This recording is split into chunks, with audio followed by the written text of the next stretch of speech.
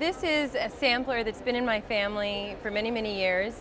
It was given to my mother from her grandmother and is now in my possession.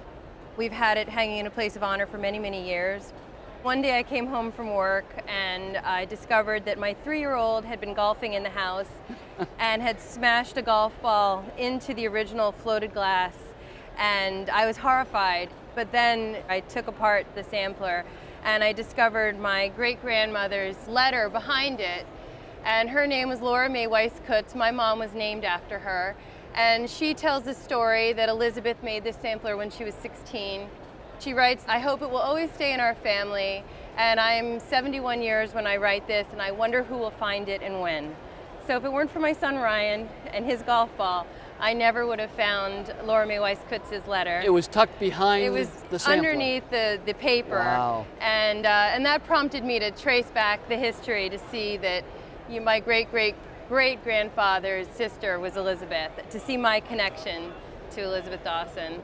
We have this wonderful documentation, and it also in the letter talks about the brother having made the frame. Right. It's no longer verbal history, it's written family history. Yes, thank you. Sample is wonderful. It's large, it's very graphic. This house with the animals, the steps leading up to the front door, it's beautifully rendered in silk on a, on a beautiful linen background. Date is 1825. It's really a perfect date hmm. for samplers. It's Okay. when schoolgirls were making these. You said she was 16 years old when she made it. It's, it all comes together so beautifully, especially the original frame. I love that touch to it. In terms of valuing this, we're going to say today that it's going to have more value as a family piece. Mm-hmm. And the sampler market today is pretty critical of condition.